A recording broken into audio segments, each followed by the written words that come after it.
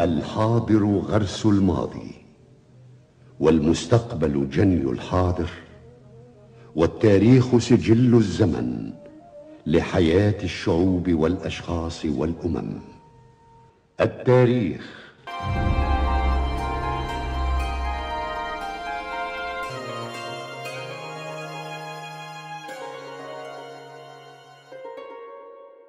بسم الله الرحمن الرحيم. أهلا بيكم معانا في حلقة جديدة من رحال. البرنامج اللي هيتكلم على كل حاجة بتخص الحضارة والتاريخ. إحنا مكملين في سلسلة الحضارة الإسلامية. وزي ما اتفقنا إن إحنا نتكلم من أول مولد الرسول صلى الله عليه وسلم إلى نهاية الخلافة العثمانية. إحنا النهاردة في العام ال 13 من البعث اللي هي هتكون آخر سنة لتواجد الرسول صلى الله عليه وسلم في مكة وهيهاجر ليثرب. هناك في يثرب كان انتشار كبير جدا للدين الإسلامي. زي ما قلنا معظم أهل المدينة دخلوا الإسلام وكان هناك في يثرب حتى اللي لسه على الشرك ولما دخلش الإسلام ما كانش عنده أي مشكلة في وجود المسلمين هناك. وده زي ما قلنا إن كل أهل يثرب دخلوا الإسلام وهم كانوا ناس عندهم لين في الطبع. لكن في الوقت ده كان كل أمانيهم إن الرسول ينتقل من مكة علشان يروح المدينة. فبعتوا مع مصعب بن عمير رضي الله عنه وزي ما قلنا إن الرسول حدد إن هو هيقابلهم عند العقبة في أوسط أيام التشريق.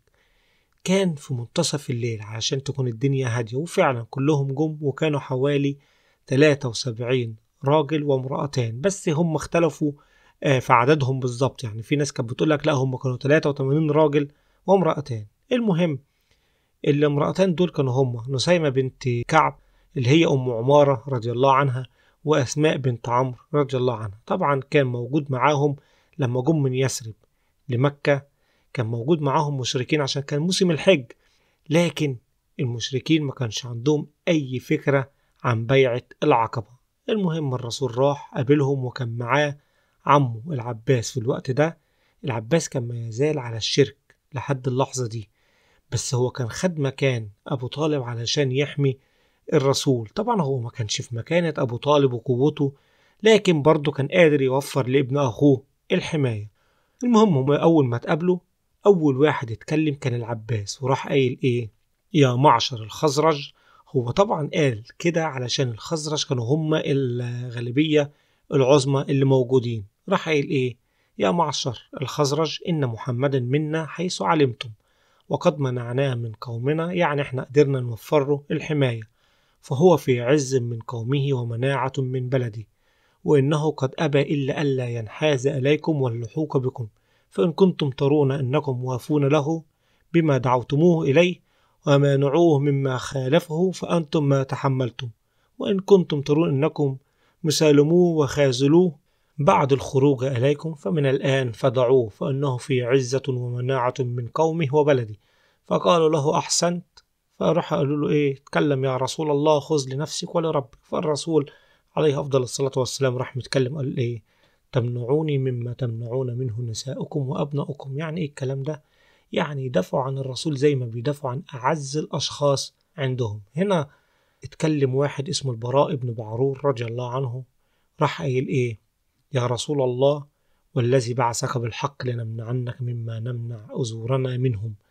بايعنا يا رسول الله فإنا والله أبناء حرب وأهل الحلقة يعني أصحاب السلاح. ورثناها كابر عن كابر. كلام البراء كان كلام كله حماسة وواقف فعلا على رجلين ثابتة.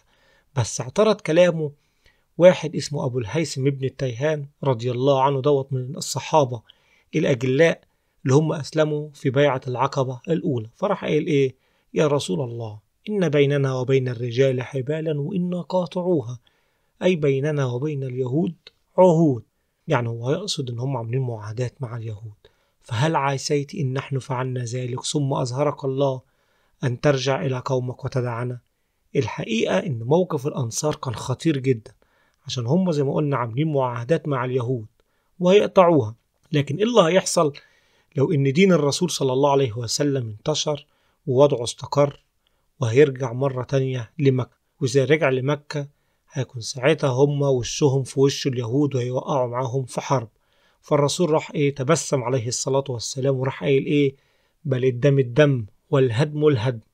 إنا منكم وأنتم مني أحارب من حاربتم وأسالم من سالمتم. ولما خلاص خلص كلامه وجم علشان يبايعوا الرسول راح مسك إيد الرسول وقبض عليها قوي أسعد ابن زوارة وراح قال إيه رويدا يا أهل يثرب. يعني إيه اهدوا شوية إن بايعتموه فإنكم تبايعوه على حرب الأحمر والأسود من الناس فان ائمكم تصبرون على ذلك فخذوه وأجركم على الله. وإما إنكم تخافون من أنفسكم خيفة فزروه فهو اعذر لكم عند الله. فأول ما خلص راح قالوا له إيه؟ يعني أنت خلصت كلامك؟ شيل إيدك. وراح قايلين للرسول إيه؟ راحوا سألوا الرسول سؤال. فقالوا يا رسول الله ما لنا إن وفينا. فقال الرسول الجنة. وراح سكت نقطة يعني خلاص هيبقى الأجر بتاعكم الجنة. بالوقت ده راح أسعد بن زرارة راح ماسك إيد الرسول وكان أول من بايع الرسول. فراحوا كلهم وقفوا علشان يبايعوا الرسول راح الرسول قال لهم إيه؟ اخرجوا منكم اثنة عشر نقيبا يعني اختاروا منكم 12 مندوب منكم.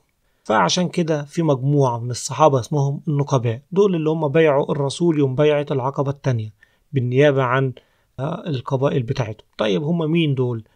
دول أسعد ابن زرارة وسعد بن الربيع وعبد الله بن رواحة ورافع بن مالك والبراء بن بعرور وعبد الله بن عمرو وعبادة ابن الصامت وسعد ابن عبادة والمنذر ابن عمرو دول من قبيلة الخزرج. وفي بقى أسيد بن حضير وسعد بن خيتمة ورفاعة ابن عبد المنذر دول من قبيلة الأوس. فبيعوا الرسول صلى الله عليه وسلم وأول ما خلصوا خلصوا البيعة ساعتها الرسول قال لهم إيه؟ أنتم كفلاء قومكم ككفالة الحواريين لعيسى بن مريم وأنا كفيل على قومي. وبعد ما الرسول خلص الكلام دول حصلت حاجة غريبة قوي. طلع صوت الصوت ده مش عارفين هو كان جاي منين بس المشهور إنه شيطان. المهم راح قايل إيه؟ يا أهل المنازل هل لكم في محمد والثبات معه؟ قد اجتمعوا على حربكم. فالنبي صلى الله عليه وسلم قال هذا والله أزب العقبة. يعني ده شيطان معروف في العقبة. أما والله يا عدو الله لأفترنك فقال يا رسول الله والذي بعثك بالحق إن شئت لنميلن غدا على أهل الوادي بأسيافنا. فالرسول قال لهم إيه؟ إن لن نأمر بحرب أو بقتال ولكن ارجعوا إلى رحالكم فرجعوا تاني يوم. طبعا قريش سمعت الخبر فراحوا لأهل يثرب سألوهم يا أهل يثرب ما الحدث؟ فالمشركين اللي هم من أهل يثرب يعني قاعدين مش عارفين أصلا إيه اللي حصل ولا إيه اللي تم. فقعدوا يحلفوا إن الكلام دوت ما حصلش إطلاقا ومفيش أي بيعة ادوها للرسول. فطبعا أهل مكة صدقوهم.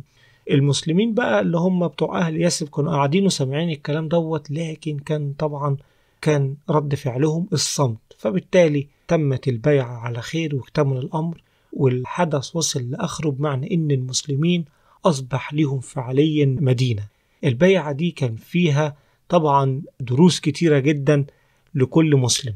من الدروس الجميلة لما الأنصار رضي الله عنهم لما أمنوا بالرسول فعلا أمنوا بالرسول ولما طلبوا حاجة واحدة من الرسول الرسول قال لهم الجنة. عشان كده الأنصار ملهمش فعليا من ملك الدنيا حاجة خالص. الأنصار ربنا عز وجل سبحانه وتعالى ادخر ليهم الملك كله والعظمة في الآخرة. عشان كده ما شفناش حد من الأنصار ملك أو أمير أو خليفة كان بيعتهم الجنة. فالرسول صلى الله عليه وسلم ذكر فيهم قال إيه؟ لا تزال الناس تكثر والأنصار تقل حتى يكونوا كالملح في الطعام.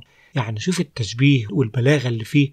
قليلين زي الملح اللي في الأكل بس من غيره الأكل مش هيكون ليه طعم. هم فعلا ملح هذه الأمة اللي بيخلوها تعيش وتحيا. الناس دول قدموا كل اللي عندهم للإسلام. في كمان المهاجرين اللي هم راحوا للحبشة وبعدين رجعوا وبعدين رجعوا للحبشة مرة تاني وبعدين الوقت هيهاجروا ليثرب كل دوت في سبيل الإسلام والصبر على الرسالة. دي كانت بيعة العقبة التانية اللي اسمها برضه بيعة الحرب بالرغم إن فيها نساء لكن سميت بيعة الحرب عشان فعلا كل شروطها الدفاع عن الإسلام والدفاع عن رسول الله صلى الله عليه وسلم. بكده تخلص حلقتنا النهاردة. وأشوفكم بإذن الله تعالى في حلقة جديدة مع رحال.